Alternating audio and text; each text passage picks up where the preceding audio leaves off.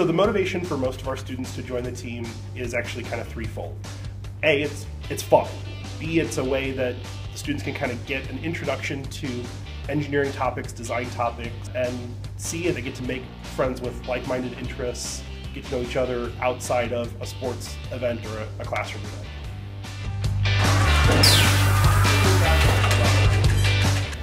Um, I've been doing robotics for four years. The atmosphere of robotics is kind of a intelligent, creative um, atmosphere, kind of thought-provoking, and also incorporates the Brotherhood of STEM. Go, being in robotics has exposed, exposed me to a lot of STEM ideals, and that being the case, it's really made me want to be an engineer. Robotics teaches you that you have six weeks to build a really good functioning robot, and that's hard. You can't all do it at the end. So time management, it teaches you how to do that, teaches you teamwork, and it also teaches you how to problem solve.